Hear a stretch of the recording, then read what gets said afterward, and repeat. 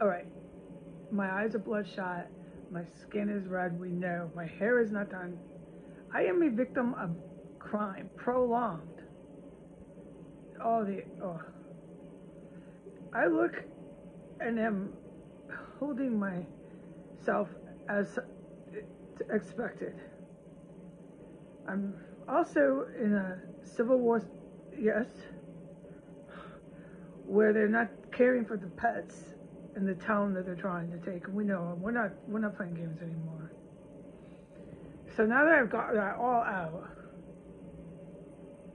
it should be easier for me to film this without any apprehensions. No, I don't look my best. No. And yes, I'm in the Civil War. And that's why I'm also a puddle of mush. Worse than just what I'm dealing with, because my soulmate, little baby cat, was deteriorating because of the Civil War and the unethical stuff they're doing. I don't need to get into this. The military's, oh, Lord. By the grace of God, baby's going to leave the hospital, and he made it to the hospital.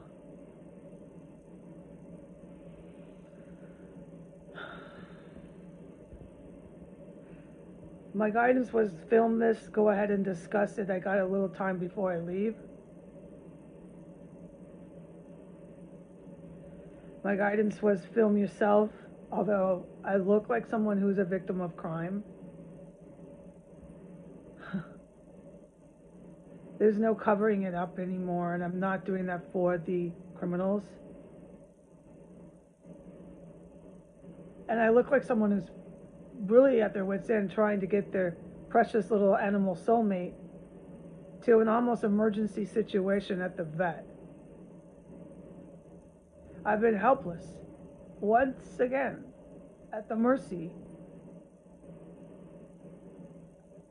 of a city filled with people more evil than I've ever been in my life anywhere outside of the UK, there was some places I went there that were on the top 10 list or whatever you want to number this. It's white people. And they do it for white power here. Which is what Jesus wanted me to go ahead and film and discuss. This is the crux of what's going on in the Capitol. Um, but this is what he really wanted me to get at, like the core of the crux. What's really controlling all of this is the addiction that they have.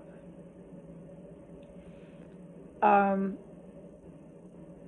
in my words, in my uh, opinion, in my whatever, whatever, all right? You can look at everything I wrote, it's pretty clear. Um, most of the people are, on speed and pretty huffed, hyped, hot all the time. And um, so to be that addicted, the drive of the day is to make sure you have your drugs because you have to get high. That is what drives them. And then everything else that they do comes after. This is so elementary, at least to me, because I have a lot of time. I got like 15 this December, 16 years experiencing this. Yeah, so I do and um, it begs the question what it, it does caused so many people in the middle of their lives, you know, whatever, whatever this came about, college career or midlife, to addict themselves to a highly addictive form of crystal meth is curious. Absolutely. This stuff I want to uh, gain answers to, but not while I'm in one of their terrorist cells. Because I, I, I've seen, whoa, I look unbelievable. Like, yeah, mummy. No, I can't do my hair and stuff here. Oh, hey, man. Um, it's really fucking dangerous here. And as far as I know, that schizoid is still sitting up there. I, I gotta not think about what these people are doing, dude. No, hell no, dude. That's that's not your problem. Your problem is a lot of other things that they do, not what they're doing. You know what I mean? Who is she letting in? Is she is she up to something? Like these people are fucking savages. That's my problem. It's not what she's thinking, because what they're thinking, whether it's one of these obvious corner clucks, because that's what she is. She, I don't need to say this to adults with eyeballs. Her and the male in the basement that come he come up covered in dirt are corner clucks. Look it up. I'm not going through this anymore. Look it up what that is. Then you have the ones I was just talking about that work at places. It could be anywhere. Um, and what would cause them to addict themselves, like really addicted, in the middle of their lives. Um, I've spoken about how some of the gay scene, quote unquote, to be in the crystal meth gay scene, you need to high Hitler here. Basically, this is my words, but I think I'm pretty close. To get the good drugs. So go ahead if you're white and then you're gay, high Hitler, and you got the connect. And you know, I think what I'm missing and forgetting is if you're addicted, that's everything that matters, man. Exactly. You're high in Hitler all day. You got the fucking connect. And these connects, as far as I'm privy to, then you got to ask other people. We know that. You can get in all sorts of ways delivered to you, and it's like really disposable. So, like, right. So clearly, somebody was feeding the city a really addictive form of speed, but the people took it. You took that drug. You're the one that picked up the alcohol. If I relapse, I can't blame anyone else. I'm not going to relapse, but you know what I mean? They took it. Not everybody's afflicted with some sort of traumatic event. You know, this is nothing to be cynical about, but what am, no. Uh, underlie an any underlying driver of anguish and pain that causes someone a substance abuse problem is nothing to be cynical about. But I'm saying the entire city doesn't have this affliction or whatever. So what is it? It's curious. Absolutely it is. I guess maybe it's to high Hitler. You get but why are you picking the drug up in the first place? Now you're addicted and you're high Hitlering all day. That's basically Heidi's words, what's going on here. And I've seen it because like I'm going through absolute living hell I'm witnessing things I never could would have dreamt. And when I go around this town because of their drug addiction, it's clear what's the driver of this behavior, dude. When you're addicted, that is all that's really going on. You might be high Hitlering and thinking you're doing anything, but you're not. You're a full on junkie all you're really doing is going down, down, down into the fifth stage of addiction, which you'll eventually die. That's all you're doing. You're not doing anything else except scoring and going down to your bottom. That's all you're doing. That's all this town is doing. That's why they never accomplished anything. But because this drug is so intense, they never will realize that. And plus, addiction's also that way, anyways of any drug you take and get hooked on, the denial is one of the main things that keeps you from ever getting well and living a sober, healthy life. You just can't admit any of it. So denial becomes a safe zone. Um, it definitely is with addicts, but it is with people who are really sick and that's a whole nother uh, basket of eggs. But denial with addicts, and that's what I'm dealing with here when I go around this town. It becomes a safe zone. So when they're outright committing crimes, like I'm surviving here and look the way I look because of it, the police, everybody's on this dope. They're moving it, selling it, God, everything with it, okay?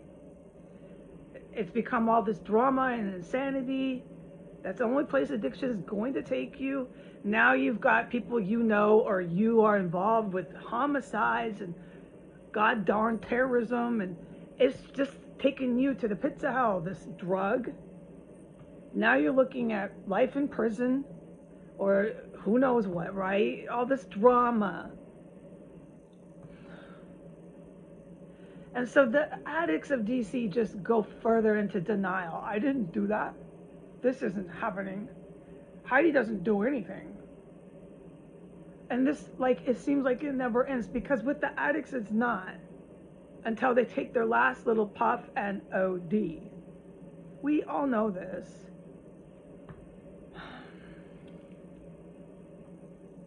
But they're dangerous here because, yeah, a lot of the cops are armed. A lot of the civilians are armed. So it's it's not so like simpleton AA lecture time. No. They're armed and they're fucking deranged on speed. That's why I look the way I look. I, I can't believe the shit I'm witnessing here. But as a sober, sane woman, oh, especially a woman surviving this and hearing two chicks get killed and shit, oh my fucking god. And going out to DC where they want to feel in their safe zone, denial, I feel safe here we're just going to deny everything. I'm not going to engage with that. I'm not going to enable that. No, you are committing massive felonies here. This is a major crime scene, and there are serious military people that are all over this like hot pancakes now. Oh, yeah. So much so that I can kind of fall back and just protect myself like I should have been initially. I praise these guys that are doing this for me. But it doesn't influence the situation I'm still in right now. And most likely, unless something happens, who knows, in the next 20 minutes, going to go all by myself in an Uber with my sick baby kitty that couldn't get to a vet. So I'm really upset about that because the vets, for their insane reasons that are not justifiable, put off appointments for two months. It's really scary here. So I'm trying to manage all that, right, until I can move out of this fucking city or the Pentagon comes gets me. It's gonna be one of the two. That's where this is going. And um I got to deal with these addicts and their denial. It's all rooted in denial and addiction here. It's really not hard to figure out. I'm not a maestro for saying this. And as a woman, as a human, the denial makes you, when you're a victim of crime, it's the most worst feeling. They're denying the blah blah blah. I can't find words, you know, but you know how it's got to feel. It does. And um, they're doing it for self protection, and and really,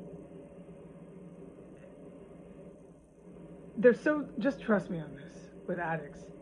Yeah, they're doing it for self protection, but they're not doing it like you and I think of a criminal protecting oneself, because they're really jumped out. These people when they're high, they're not thinking clearly, period. Their minds are clouded. And when they're not high, all they're thinking about is do I have more dope and can I get more dope if they don't? So they're not thinking like me and you if I were to go and commit uh, a bank robbery. Okay, I just robbed the bank. Now I'm clear headed. What's my plan? No, no, no, dude, that's not what we're dealing with here. Exactly, folks they get their stash and their dope before they rob the bank. I'd hope they think of that. But I don't want to give a drug addict advice. no, I don't look good right now, people. I'm really frazzled in DC. When I bleach my hair, it'll look better, but it is not the house for that. And what we got right now, I'm not even discussing. It's on paper. I wrote it, what we're dealing with right now. But what I deal with in DC is not okay. You cannot fucking butcher hookers in the house, and you cannot be making chemical weapons on Instagram. And to deny it, the whole town deny. And and all this further sickness, I cannot enable, or whatever word I just used. I can't. So I I definitely go out and about just with this wall now of detachment. It's detaching and know I'm dealing with severely addicted people that are just savage. They're so lost in addiction, they're willing to do and align with anything in order to get their drug. It's basically my impression here.